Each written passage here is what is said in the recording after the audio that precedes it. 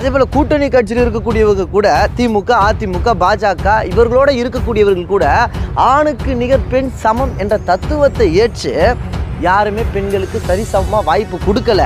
ஆனால் நாம் தமிழ் கட்சி மட்டும்தாங்க. தமிழ்நாட்டில் மட்டும் இல்லை இந்தியாவே இந்தியா முழுமைக்கும் நீங்கள் அரசியல் கட்சிகள் எடுத்து பாருங்களா. நாம் தமிழர் கட்சி மட்டும்தான் ஆணுக்கு நிகர் பெண் சமம் பெண் விடுதலை இல்லை எனில் மண் விடுதலை இல்லை என்ற தமிழ் தேசிய தலைவர் மேதகவை பிரபாகரன் அவர்களின் தத்துவத்தை ஏற்று இருபது இடத்துல ஆண்களுக்கும் இருபது இடத்துல பெண்களுக்கும் அண்ணன் சீமான் அவர்கள் வாய்ப்பு கொடுத்துருக்காரு. குறிப்பாக அண்ணன் சீமான் அவர்கள் ரெண்டாயிரத்தி பத்தொம்போதுலேயே இதனை நடத்தி காட்டார் மீண்டும் பெண்களுக்கான ஒரு சம வாய்ப்பை நான் ஏற்படுத்தி கொடுப்பேன். இது வந்து நான் பெருமையெல்லாம் பேச மாட்டேன். இது என்னுடைய கடமை. என்னுடைய சமூக கடமை நான் செயல்படுத்துறேன்னு சொல்லிட்டு தமிழ்நாட்டுக்கு தேவையான ஒரு அரசியலை அண்ணன் சீமான் அவர்கள் செய்து வருகிறார். தமிழ் உறவுகள் அனைவருக்கும் வணக்கம். அதாவதுங்க இன்றைய நாள் வரலாற்றில் ஒரு சிறப்பு மிக்க நாள்னு நம்ம சொல்லலாம். குறிப்பாக சென்னையில் அண்ணன் சீமான் அவர்களுடைய தலைமையில் நாற்பது வேட்பாளர்களை ஒரே மேடையில் அண்ணன் சீமான் அவர்கள் அறிவிக்க இருக்காரு. குறிப்பாக தமிழ்நாட்டிலிருந்து பல்வேறு பகுதிகளில் நாம் தமிழர் கட்சி உறவுகள் அனைவரும் அந்த இடத்துல ஒருங்கிணைக்க இருக்காங்க. குறிப்பாக ரெண்டாயிரத்து பத்து காலகட்டத்தில் சீமான் அவர்களால் தனித்து போட்டியிட முடியுமா என்ற ஒரு கேள்வியை முன் வச்சுருந்தாங்க.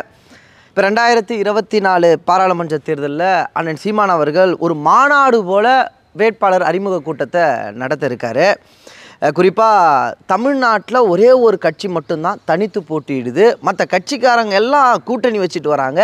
குறிப்பாக திமுக கூட ஒரு பத்து கட்சி கூட்டணி இருக்குது இந்த பக்கம் அதிமுக கூட ஒரு அஞ்சு கட்சி கூட்டணி இருக்குது பாஜக வேற நான் நோட்டு தரேன் சீட்டு தரேன் என்னோட வான்னு சொல்லிட்டு பாஜக வேற கூட்டணி அமைச்சிருக்காங்க.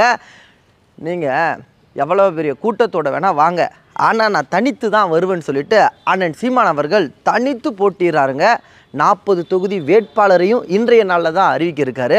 அதே போல் பாருங்களா திமுக கிட்டத்தட்ட இருபத்தோரு இடத்துல போட்டிடுது திமுக மட்டும் போட்டிட்டுது அதில் பார்த்தீங்கன்னா ஒரு மூணு இடத்துல மட்டும்தான் பெண்களுக்கு வாய்ப்பு கொடுத்துருக்காங்க. அதிமுக கிட்டத்தட்ட முப்பத்தி மூணு இடத்துல போட்டிடுறாங்க அதிமுக ஒரே ஒரு இடத்துல தான் பெண்களுக்கு வாய்ப்பு கொடுத்துருக்காங்க.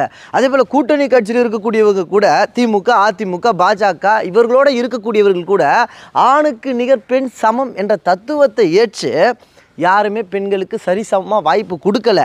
ஆனால் நாம் தமிழர் கட்சி மட்டும்தாங்க. தமிழ்நாட்டில் மட்டும் இல்லை இந்தியாவே இந்தியா முழுமைக்கும் நீங்கள் அரசியல் கட்சிகள் எடுத்து பாருங்களா.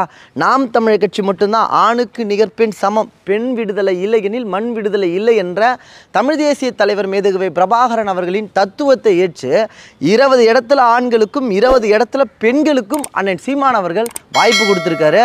குறிப்பாக அண்ணன் சீமான் அவர்கள் ரெண்டாயிரத்தி பத்தொம்போதுலேயே இதனை நடத்தி காட்டார் மீண்டும் பெண்களுக்கான ஒரு சம வாய்ப்பை நான் ஏற்படுத்தி கொடுப்பேன்.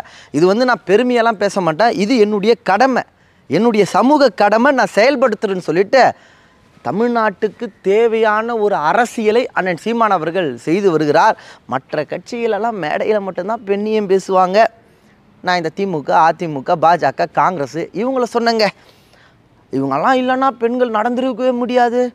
திமுக இல்லைன்னா பெண்கள் சுதந்திரமாகவே இருக்க முடியாது. அப்படியெல்லாம் மேடைக்கு பேச மட்டும் நல்லா இருக்கும். ஆனால் நிஜத்தில் அவங்க செயல்படுறது கிடையாது. பார்ப்போம் எந்த இடத்துலையும் பெண்ணியம் பேசக்கூடிய இந்த திமுக இந்த அதிமுக இந்த பாஜக இந்த காங்கிரஸ் எல்லாம் பெண்களுக்கான சம வாய்ப்பை கொடுத்ததே இல்லை என்பது தான் நிதர்சனமான ஒரு உண்மை. அண்ணன் வந்து சொல்கிறது கிடையாது. செய்கிறார் இது என்னுடைய கடமைன்னு சொல்லிட்டு அண்ணன் சீமான் அவர்கள் செஞ்சிட்டு இருக்காருங்க அதே போல் இன்றைய கூட்டத்தில் அண்ணன் சீமான் அவர்கள் மிக முக்கியமான செய்திகள் எல்லாம் பேச போகிறாரு உலக தமிழர்கள் எல்லாம் சீமான் அண்ணன் என்ன பேச போகிறாருன்னு சொல்லிட்டு ஆவலாக எதிர்நோக்கி காத்திருக்கிறார்கள். அதே போல் இந்த மேடையில் கிட்டத்தட்ட நம்ம ஒரு மாதமாக உங்களுக்கு தெரியும். நாம் தமிழ் கட்சி சின்னம் தான் என்ன? நாம் தமிழ் கட்சி சின்னம் விவசாய சின்னம் நம்மக்கிட்ட இருந்தது. அந்த விவசாய சின்னத்தை திட்டமிட்டே இந்த ஆரியனும் இந்த திராவிடனும் ஒன்று சேர்ந்து எப்படியாச்சும் நாம் தமிழ் கட்சியிடமிருந்து இந்த சின்னத்தை பறிக்கணும் அப்படின்னு தீவிரமாக ஆலோசித்து யோசித்து நாம் தமிழ் கட்சியிடமிருந்து சின்னத்தை பறிச்சிட்டாங்க. இந்த மேடையில் அண்ணன் சீமான் அவர்கள் நாம் தமிழ் கட்சியின் சின்னம் என்ன? ரொம்ப நாளாக நம்ம எதிர்பார்த்து காத்திருக்கோம். நாம் தமிழ் கட்சி சின்னம் என்ன என்று அண்ணன் சீமான் அவர்கள் இன்று மேடையில் அறிவிச்சிருவாருங்க. அதே போல் அறிவித்த உடனே அடுத்த வினாடியே மக்கள் மத்தியில் கொண்டு போய் சேர்ப்பதற்கான வேலைகளில் நாம் தமிழ் கட்சி உறவுகள் ஈடுபடுவாங்க.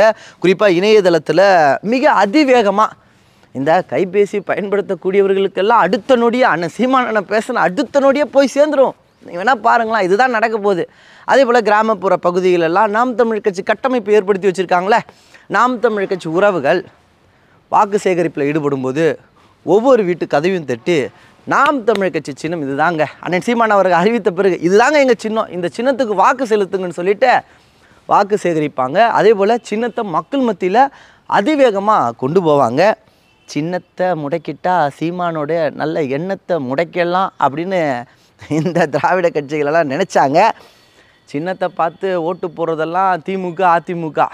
இந்த கட்சியில் பயணிக்கிறவங்கன்னா சின்னத்தை பார்த்து ஓட்டு போடுவாங்க.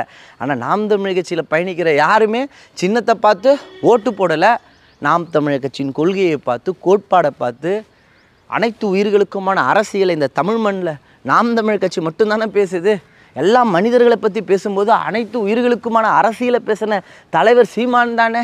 இப்படியாப்பட்ட ஒரு தலைவர் வந்தால் தானே தமிழ்நாடு நாடாக இருக்கும். மீண்டும் இந்த பாஜகவா இந்த காங்கிரஸா திமுகவா அதிமுக இவர்களெல்லாம் வந்தால் நாடு சுடுகாடாக மாறிடும் என்பதில் மக்கள் தெளிவாக இருக்காங்க. முக்கியமாக இன்றைய வேட்பாளர் அறிமுக கூட்டத்தில் அண்ணன் நிச்சயமாக ஒரு சிறப்பான சம்பவத்தை பண்ண ரெடியாக இருக்காருங்க. நாம அதற்காக தான் காத்துட்ருக்கோம் தற்போது நாம அவங்க தான் கிளம்பிட்டுருக்கோம் சென்னையில் நம்ம சந்திப்பு உறவுகளை. முக்கியமாக ஒரே மேடையில் நாற்பது வேட்பாளர்களை அறிமுகம் செய்து வைக்கக்கூடிய கூட்டத்தை சீமான் அவர்கள் இன்று நடத்திருக்காரு. இது குறித்து உங்களுடைய கருத்துக்களை தெரியப்படுத்துங்க. மீண்டும் அடுத்த ஒரு நல்ல பதிவுகளில் உங்களை சந்திக்கிறேன். இதுவரை நமது இன விடுதலை வலையொலியை பின்தொடராத உறவுகள் பின்தொடருங்கள். விருப்பம் தெரிவியுங்கள். இந்த பதிவு குறித்த உங்களுடைய கருத்துக்கள் வரவேற்கப்படுகிறது. நன்றி வணக்கம் வாழ்க தமிழ்.